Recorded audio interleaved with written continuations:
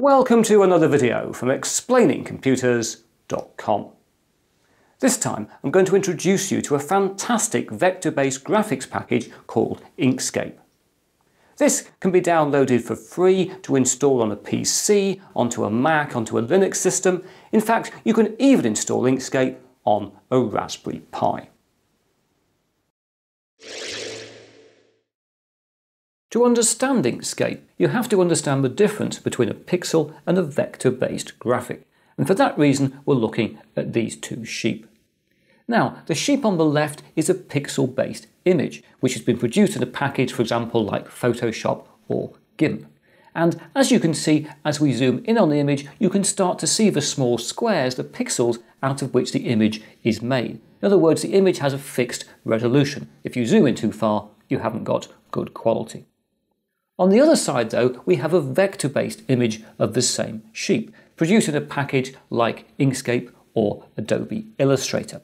And what this means is that the image is defined mathematically as vectors, as coordinates, as mathematical formula. And therefore, however much we zoom in, you still see a sharp image. And this means that vector-based images that are created by packages like Inkscape are best for things like producing, say, logos or producing graphics where you need to zoom in for a lot of detail on certain parts of the image. Right, it's now time to get the software, so here I am on my Windows 10 desktop and I'm going to go to the Chrome browser where I've already loaded up the website inkscape.org. As you can see there's a download link right on the first page so I'll click on download and it'll take me through to a download page where I can pick my operating system, Linux, Windows or Mac. I'm going to pick here Windows because I'm on a Windows PC. And it'll give me then two options. I've got either 32 or 64-bit versions. I'm currently running on a 64-bit version of Windows, so I'll pick the 64-bit version of the software. And then we can save that. It's going to go to my download directory, that's fine. So I'll save that package. It'll save down there. It's about, what, 93 megabytes. So it's not too big a download, but we'll just let that whiz through. And uh, there we are, that's completed. So if I just get rid of the browser, I'll go back to my download directory. There it is, look, happily sitting there, and we can click on the package to install it. And hopefully, there we are, we've got a nice little installer. Welcome to Inkscape um, 0.91. You can see it's still really in development, but very, very good package nonetheless. Been around for quite a while. Click on next, and I'll accept the license, of course, because I always do. And if we don't, we can't get the software. And I'll do a typical install for once. Don't often do those, but I think I'll do that here and install, and it'll install it on my system. Do I want to make changes to my computer? Yes, people always worry when they see these. This is nothing worrying. This is simply checking you really should be installing software. Um, it's not a virus or anything like that. Do not worry about these messages. I know many of you do worry about those messages. You send me emails and things about them. They're absolutely fine. Anyway, it's now installing the software. I'll just whiz through that. And uh, there we are. It is now installed on our system and we can see we've got an icon ready to operate up here. Now just before we do that, I will note you can even install this, as I said at the start of the video, on your Raspberry Pi. To do that, you go to your uh, Raspbian or other Raspberry Pi desktop, go to a terminal and type uh, sudo apt-get install and uh, inkscape, and then obviously enter. And then you'd wait a little minute while that's got on with installing. Do I want to install? Of course I do, yes, and go on. You'd wait for this to uh, complete. And uh, there we are, it's finished. And we can now close down our uh, terminal and we would find in our menu, under graphics, we now have available Inkscape. Hurrah!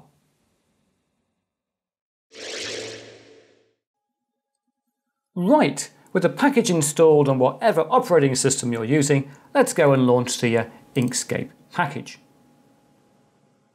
And uh, here we are, this is what it looks like when you first installed. But before I actually explain to you some of the tools you've got down here, I thought I'd show you a couple of illustrations I've done myself in a vector graphics package. So for example, we'll start with uh, this one. This is an illustration you may actually recognize. It's from a recent Raspberry Pi video, a Raspberry Pi wiring diagram. And every element here is a vectored piece of graphics. So for example, this element down here is wiring interconnect. I could go down there and do edit and copy, and then edit paste in place to copy on top of itself, and then move it up that copy to have another wiring element here. That's the sort of thing you can do very easily in a vector-based package. To show you something slightly different, let's pull in uh, this. This is an illustration of uh, how to clone a sheep from uh, one of my books a few years ago about uh, sheep cloning and many more other things, obviously. We go across and just zoom in on that sheep. We'll click on the magnifying glass and just zoom in a little bit and then just reposition more nicely on, on screen. We can illustrate here very clearly that this sheep is all made up of vector-based elements, if I can get it nicely centered on the screen for you there. It doesn't want to sit there, oh, we'll leave it about there, I don't, I don't really care. Anyway, we can see, for example, if I pick up the uh, selection arrow there, at the back of the sheep is a separate object here. And I could therefore, for example, change the fill color to have one of those nicer yellow-backed sheep. Every object in Inkscape is a path, which is defined by lots of different nodes. Now to show you what that means, let's select this object, but we'll go and actually edit it using the node editor, the second arrow down here.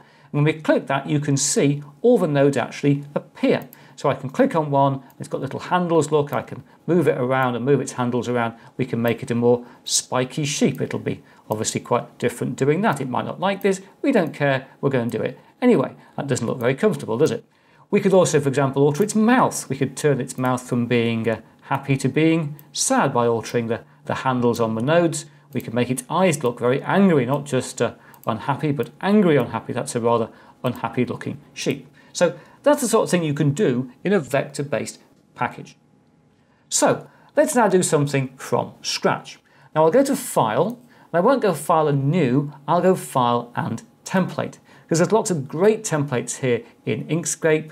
Uh, you can do everything from standard paper sizes to things like CD covers, standard uh, video sizes for computers, and there's even some video presets for you doing video work, as you may well be if you're watching this channel. So create from template, and there is our nice 16.9 document, and we can zoom in and out using the plus and uh, minus keys on the keyboard.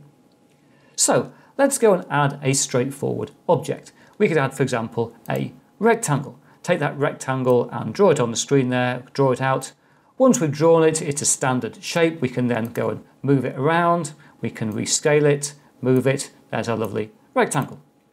Let's draw, for example, an ellipse. Take an ellipse and draw it out there, exactly the same way. Um, you can build up shapes by adding them to your drawing. You can also combine the different paths of these different objects. So if I select my rectangle and select my ellipse, I could go to um, path and I could do a difference and it would cut one from the other and we're starting to end up with a more sophisticated object. Now at the moment that object has got an outline, what they call a stroke, it hasn't got a fill. And I can see that if I go down to the bottom left of the screen down here, it says stroke, black, fill, none. But if I double click down here, it'll open up over here our fill and stroke dialog. You can do lots of really important things in this dialog. We could go, for example, to fill, and currently it's got no fill, but we could click on solid to give it a solid fill. That's black, we might want black, but I think we want, say, I don't know, let's do yellow. You can set colours using RGB, HSL, CYMK, wheel, etc. You've got lots and lots of control in this package. You've also got things like gradient fills. You can do all kinds of effects here. In stroke, we can obviously change the, the colour. It's currently black. We could change it to say red, but I think I'll leave it as black. But we've also got the stroke style dialog here. So at the moment we've got a, a pixel thickness of 19.767 for some reason. We could make it say 40, a much thicker stroke on the object. We could decide to give it rounded corners, or we could give it beveled corners like that. I rather like the, the say a rounded corner on that. So we're starting to create a more sophisticated object. So that's the basis of creating objects in Inkscape.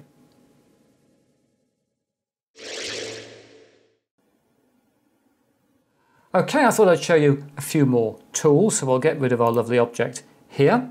Uh, we've got, for example, down here a pen tool, which can draw Bezier curves or straight lines. Very important tool. So if we click on that and I go back to our actual document, let's just drag it across a bit. I'll still need this uh, dialog over here. If I just do a click and release and click and release again and click and release again, click and release again, and then press enter, it will have drawn us a nice straight line. And again, we could go back in, we can make that say a thicker line, great big thick line there. We could give it rounded ends. That's rather nice, isn't it?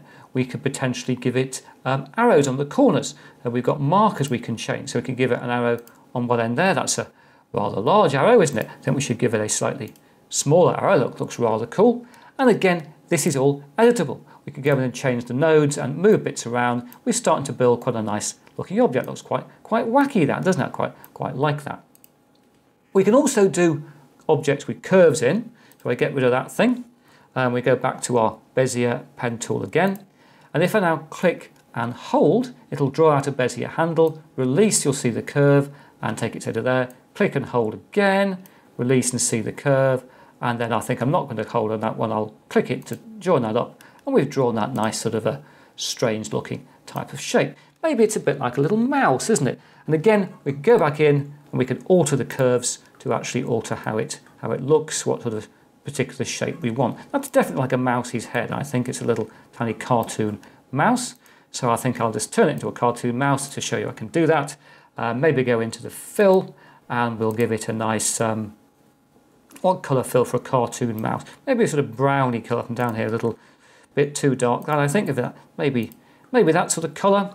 And uh, as it's a mouse, we'll give it some little ears. Maybe up here, that's a nice little ear, which again wants to be um, Oh, that's a bit dark, wasn't it? Want the same one, roughly. Something about like that. And then, of course, it'll want some little eyes. There's a little eye for our, our mouse. And I think I'll make the fill on that um, white because it wants to be a nice little white eye.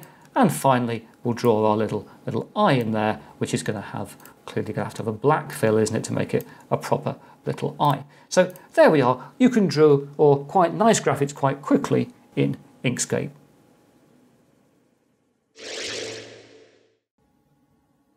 So I thought I should really show you the uh, text tools. There's lots of text tools here, obviously in Inkscape. You obviously want to do text in lots of bits of artwork. So if I type in some text here, um, explaining computers.com is obviously everybody's favorite text. And I'll make it slightly smaller than that. I think maybe, um, what do I want, about 90 maybe, 92 will fit quite, quite well on screen. Let's make it bold as well. So there's a piece of text and you can create text for users, graphics and logos, all sorts of things. And you can do various things with it if you want to with filters. So for example, there's masses of filters here. I don't know, we've got say, what shall we pick? Glowing metal, all sort of effects you might want to use on your text. But for now, I will get rid of that. But the other thing I want to show you is more fundamental, which is how you can manipulate text with a path. So if I go down here to our, our Bezier tool and I just sort of click and uh, hold and uh, click and hold again and uh, that'll do and enter. I've now drawn a nice path there. What if I wanted to put my lettering onto this path? Well, you can do that fairly easily. You can just select your lettering, select your path, hold down shift to select both of them, and then go text and uh, put on path. You could probably have guessed that one yourself. Now, you might not want it looking exactly like that, so you could select your, your path here and uh, double click down there on the uh, stroke so we can get the dialog up. And we might decide we don't want a stroke at all, so it looks just, you can just see the lettering. Or we might want to put in um, a very thin stroke, maybe about say a 10 or something on that, so it looks a bit better.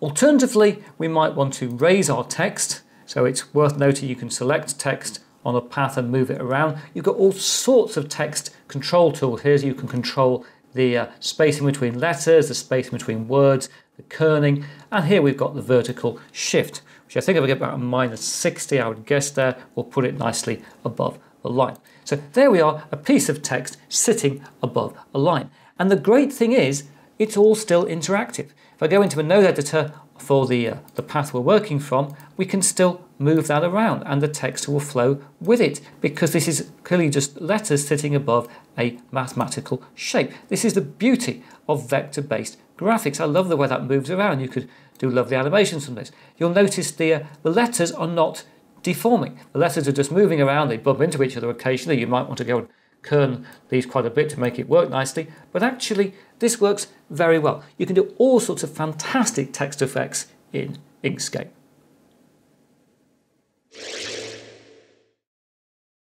Right, there's a danger this becomes a very long video because there's so much functionality here in Inkscape. As you can see in the menus here, masses and masses of functionality for controlling paths, breaking paths apart, putting them together, making sophisticated shapes, doing all sorts of fantastic colour effects. So I haven't even shown you things like, for example, the star tool. You can draw lovely little stars, which is amazing, isn't it? There's a spiral tool, draws fantastic spirals. Must put a better there's a stroke on that. Wasn't we have that showing up properly and obviously rounded corners on the end, put that, that down there. There's even a freehand tool. You can draw freehand in this package like that and then when you finished it, it's a path so you can change the stroke on it and you can even edit it because what it's done is just create loads of nodes by your freehand drawing. So you could go in and actually edit if you had a bit of time your, your freehand activity there. Anyway, the final thing I must tell you about is file formats. Now, if we go to File and Save here, it'll save it as the native format in Inkscape, which is SVG, which was not created for Inkscape. SVG is the Scalable Vector Graphics format, part of XML. This has been created and standardized by the World Wide Web Consortium since I think it was 1999. So if you work in Inkscape and save your files in SVG, you're in very good company. You've got an open standard you're, you're using for your work. Let's just call this old drawing will do. Having said that, you probably don't want to work in SVG in terms of taking your images into other packages. Say you want to load them into a video or you want to load them into, say, a, a document. So you might want to save as something else and you'll be pleased to see there is massive support here. All sorts of things you can save as. You can create documents and save them as PDFs. You can save as PNG. You can save as PostScript, as, as EPS. All sorts of structured and unstructured formats are available for you. I'd also note you've got great compatibility with Adobe Illustrator. So for example, if I go to open here, we've already looked at the sheep but the sheep was actually taken from a book and the picture was drawn in Illustrator many years ago and it's actually an AI file, an Adobe Illustrator file. And if I open that up, you will see it gives us the preview. For some reason it says PDF import settings, it is not a PDF, it's an AI file, but we can bring it in and we are back to the image, hopefully in a second, that we started with. There's a certain nice symmetry there, ending the video back with the sheep we saw right at the start. Slight change in colours there, I think, because of the colour profiles are different between the machines. This was created for print purposes. But hopefully I've given you an assurance there you can take images back and forth with Adobe Illustrator and other packages with no problems at all.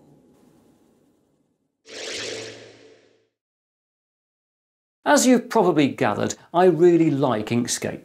For a start, it's just a great graphics package, but more than that, it's a real alternative to Adobe Illustrator, and it therefore decreases my reliance on that closed package. But now that's it for another video. Please remember to subscribe and to like this video and all that other social media stuff that helps this channel, and I hope to talk to you again very soon.